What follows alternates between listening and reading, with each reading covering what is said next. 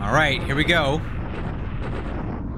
Kido Butai, what it appears to be, coming in to hit midway.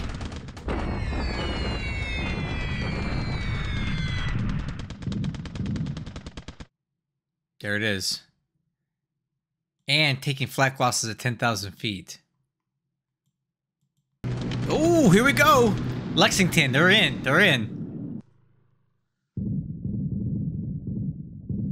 Oh.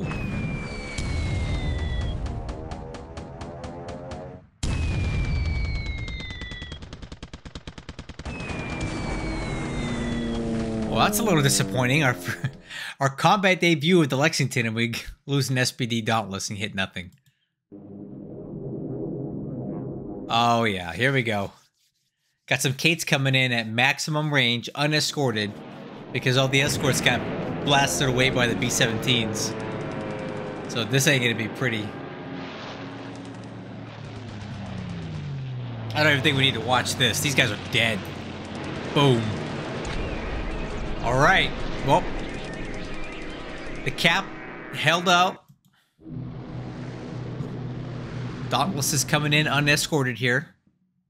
Ooh, Fubuki.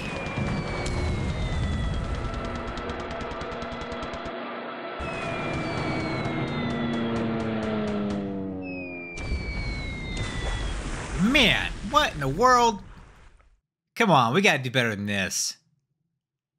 Max range. Hey everybody, it's Jochen Heiden, and I'm back with the Desert Wolf versus Locust Center campaign, January 4th, 1942. Uh, just a fair warning, I'm eating ice cream right now, so I'm to try to mute my mic in between bites, but if you hear any chomping or noises, it's uh, cookies and cream. Hmm. There we go. Gotta love these uh these Coast Watchers, right? Bunch of nonsense.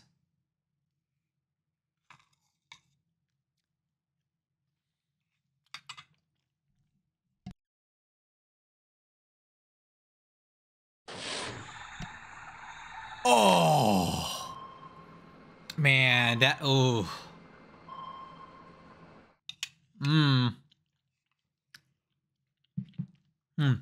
I don't know what that's about. Where's the escort at? There's no way he's running um AOs and tankers out of Babel with that escort. It's very clear that the, the allies are set up there.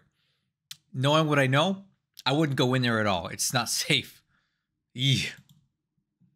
Oh! Oh no! Oh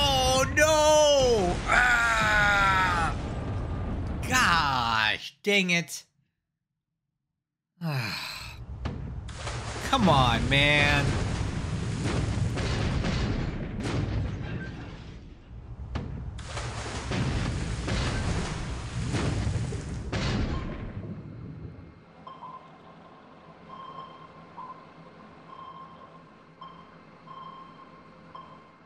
Man, come on. Ah. And this is why I've said this a million times. This is why I do not operate Japanese light carriers or any carriers uh, in these areas. Like I don't hover in here with them for like the first two months of the war. It's just too dangerous. There's too many subs here. I mean, come on, man. They're all over this. They're all over here like a cheap suit.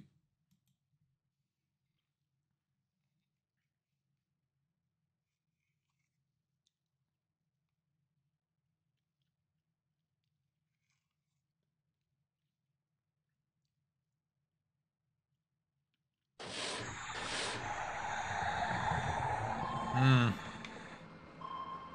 Yep. Not good.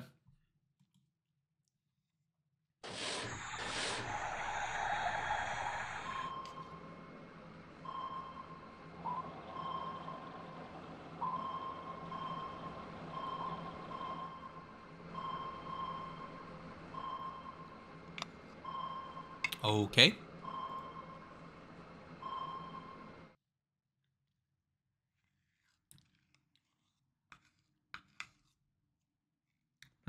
He's coming in for another attack on Kendari with Ise. Hmm. Let's see how this goes.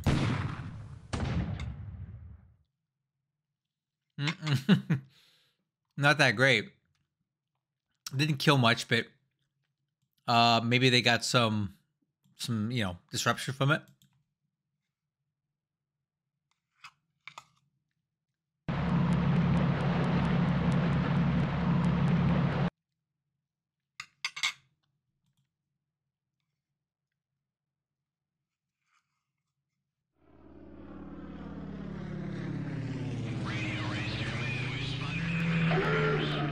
Oh, there's Mavis.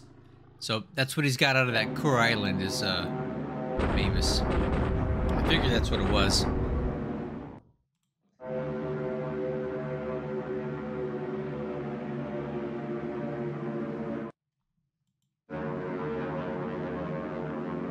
Okay, allies are sweeping again.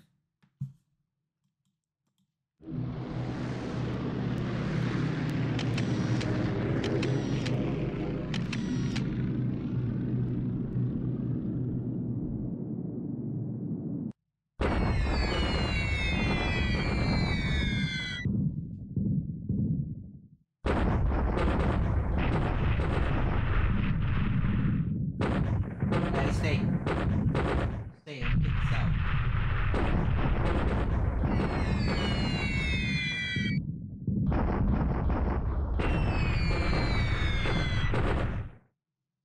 Baby, I need to get that out. All right. Sorry. I was talking to my dog. She's got a sticker or like a foxtail in her hair. And she came up to me and I'm trying to pull it out and she walked away.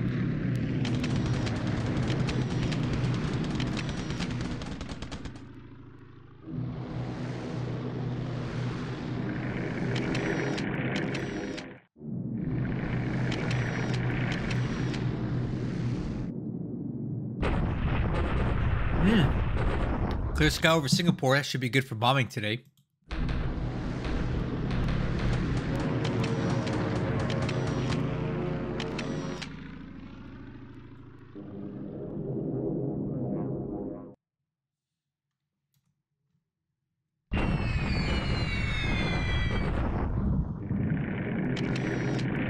Sonia's hit Singapore. That's going to be rough.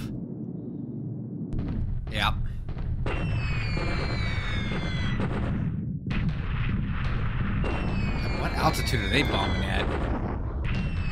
Yep. 14,000 feet. Yeah, Sonia's going to get chewed up at that altitude.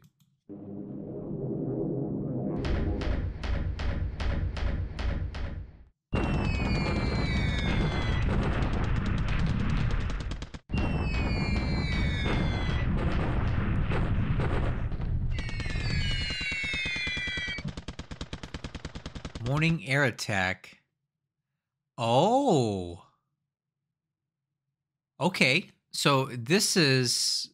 Oh, no. Never mind. It's just airfield attack. Never mind. 20,000 feet.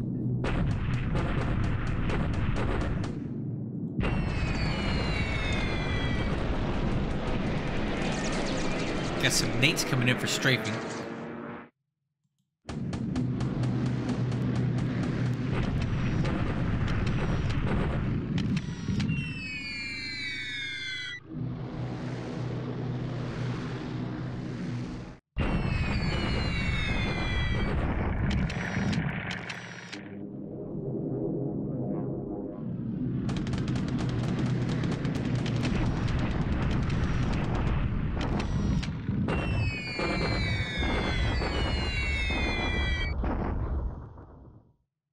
There he goes, bombing industry again.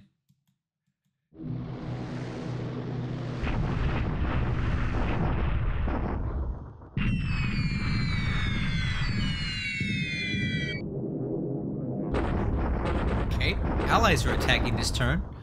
Bombers. They don't hit anything.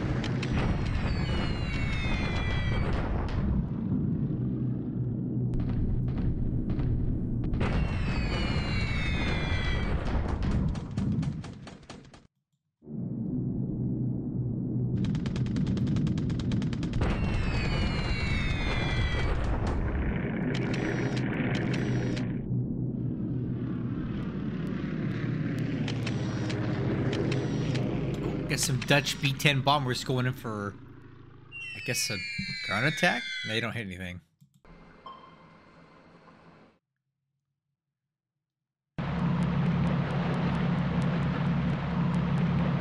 Okay, Japanese are landing at Lae.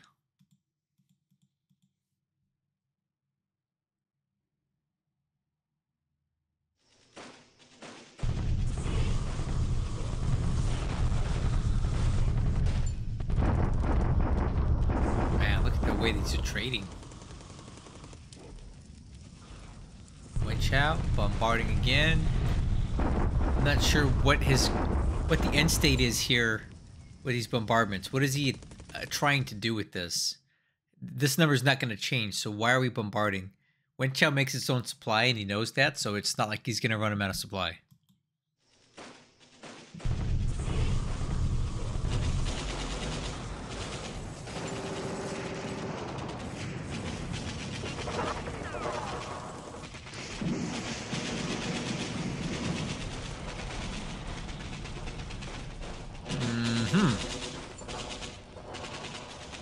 Okay.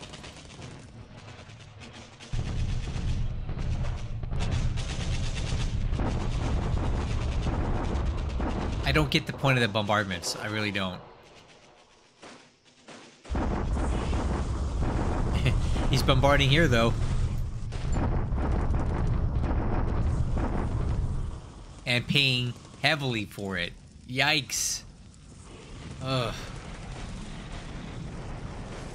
Hey, Menado, day three or four. I think we'll get it today. Yeah, he finally gets it. Okay. So he's cleared the final Dutch troops out of Menado, but boy, what a pain in the butt that was.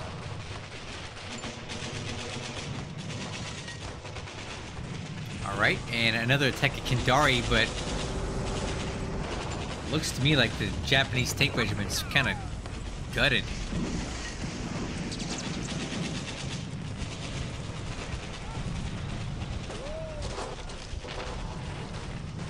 Uh, still manages to pull off something here. So they've got the forts down to zero now with the bombardments at Kendari. It's basically over with. So there you go. The defender has disruption. So the bombardment that came through by the Ise and the Nagato did a lot of damage, at least to the unit disruption wise.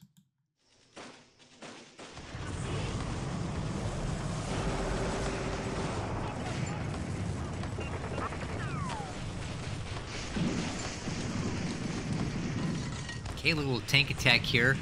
It appears that the Allies have, or the Chinese here have no anti-tank weapons at all. So despite the odds, the Japanese tanks are undamaged. And an Allied shock attack. I think this has a pretty good chance of succeeding here.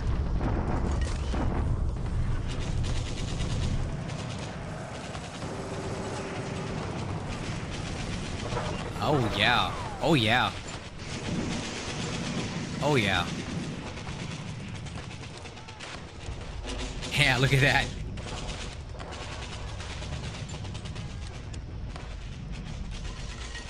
Oh, man. Look at that. Nice little counterattack by the Chinese here. Only cost them two destroyed squads. The Japanese lose a lot of vehicles and are pushed way back. Like, they're going to have to spend several, like, two days just to get back to here and they've lost all that ground that they wow yeah i like this a lot. Hey we'll talk about this when we go around the map. This move was very significant for the allies. I like this. Well done. Well done.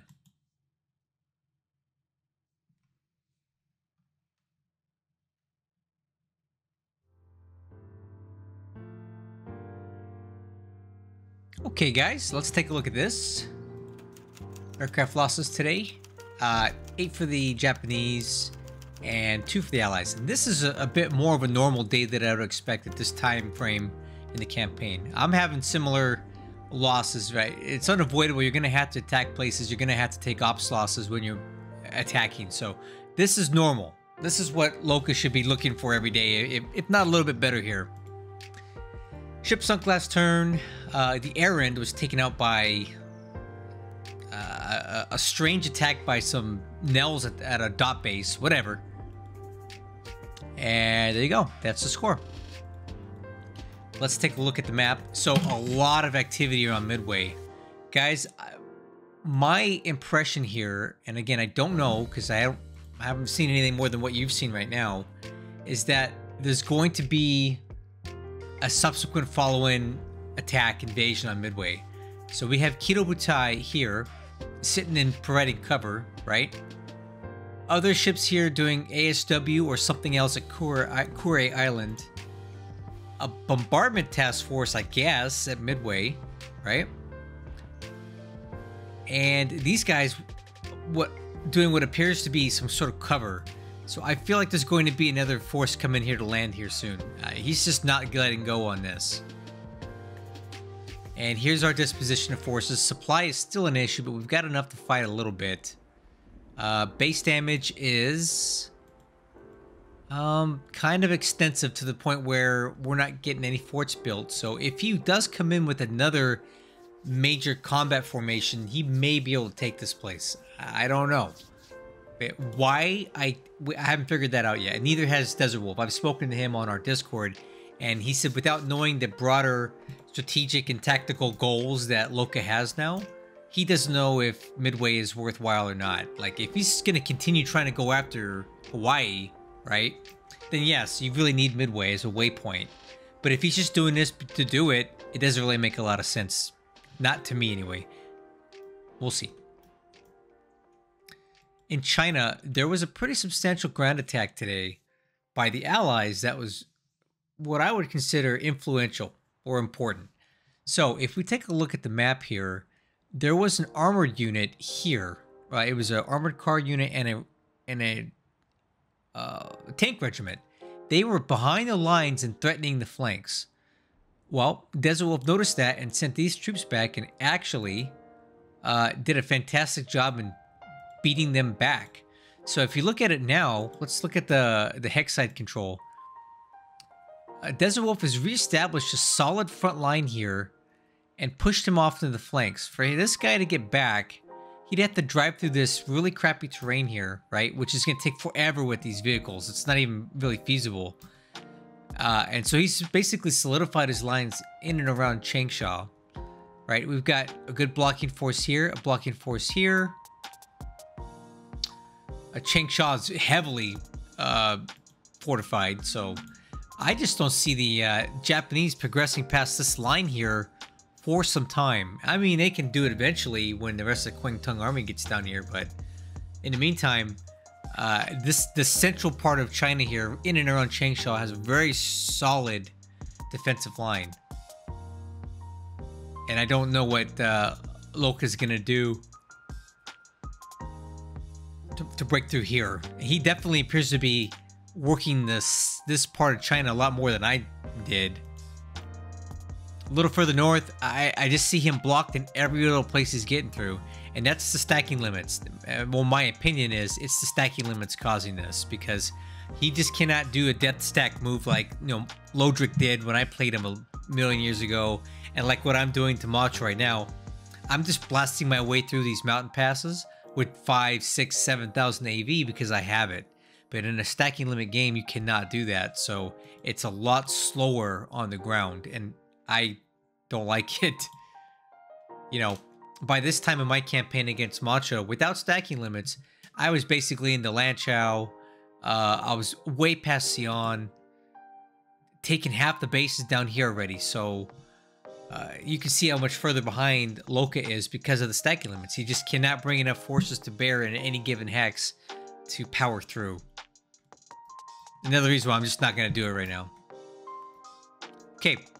Uh, the Japanese are still maneuvering around here in Burma, but I think I showed it last uh, video. He's in no danger at this point of cutting the Burma Road. Or we're in no danger of it happening.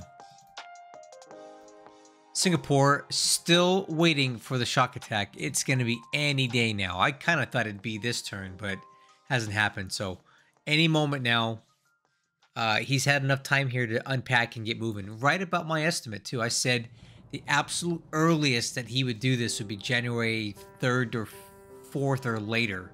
So we're at January 5th now, if you're looking at the top of here, right? So still hasn't got in there, but it's imminent. All right, uh, Philippines. I don't really see a lot of good stuff happening for the Japanese here either. Um, they're still taking heavy losses on these bombardments here, way more than we are. Our supply situation is not a, a concern, and the only thing good here is that he's taking out a fort level, and we can't build it back because his bombing has been a little more effective here. Uh, again, I want to give Loka some credit on the whole Mindanao operation here. It's been excellent. All of the allied troops are stuffed here into Malaybalay with only one fort level and very little supply. So it, this place falling is going to happen soon. And the way he went about taking these bases and, and trapping everything here was very well done. Uh, I just barely secured Mindanao today you know, and it's February 20th in the video that I just recorded for my campaign. So Loka's done what I've done a month sooner. So definitely well done here on Mindanao. I, I, I had to give him the credit for that. Way better than I did it. Okay, so we saw the old Taiyo take a torpedo down here today, and again, I mentioned it. This is why I do not like to run my light carriers in this area. Look at all these subs here. This is just uh, insane. This just makes my my uh Ugh, it's giving me heebie-jeebies just looking at all these subs here that he has to traverse. And and they're all in blocking positions because right now I'm not entirely certain that uh, he's got what it got necessary forces to move on. I think he'll take Kendari at some point here. But then he has to go in towards Makassar and other places, and there are so many subs here. He's to just have to trip across a ton of them, and he's to take more losses, even trying to move around here. So this is a dangerous, precarious situation that he's in with these submarines, and the fact that he's operating his aircraft this way, or aircraft carriers this way. When I play, and I've done it, I have two campaigns now of success in the Dutch East Indies to show Granted, not against people like Desert Wolf, but still, they're they're not horrible players. Uh, Monado is the key here. This is the linchpin for all of the subsequent follow-on operations. This is where you keep your land base there, your zeros, your betties, your nells, and then you leapfrog to one base at a time, right? I go down here, I take Ternate, then I take Ambon, then I take Kendari, but each base mutually um, you know, mutually supports the other. And I do it very methodically, and I don't use my carriers here because they're just too dangerous. Anyway, I'm to go on and on and on, and I think you guys get the point. Land based there and the DEI is the key, not carriers, or else you're just to lose them like he has. Since we're already looking at it, here's the Lexington. Uh, I'm not entirely sure what it's doing. It's standing off a bit. It is still spotted, but not I don't think that's enough detection for him to know exactly what's here now. Maybe he just knows that there's something in the hex. Where it's going to go next, I'm not entirely sure. And somebody asked me in another video, where's the Hermes? The Hermes is right here, sitting at Banjawangi, and it is not sighted. Okay, Dutch East just landed in Lae. Wait for that to fall.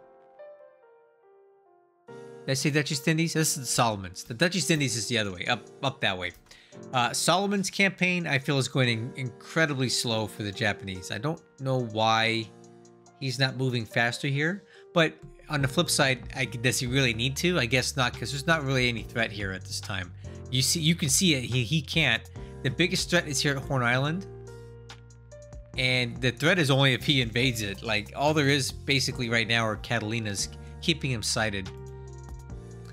Let's take a look at what he's doing here. So Desert Wolf already built up fortifications on to three, which for an atoll is, is quite good. It would cause a lot of casualties for any uh, any enemy landing there against that. So now he's going to focus on building up the air, airfield capacity for which he can use to launch offensive operations later on against these possessions here. Okay, down here in the South Pacific, nothing to see. You know what we haven't looked for?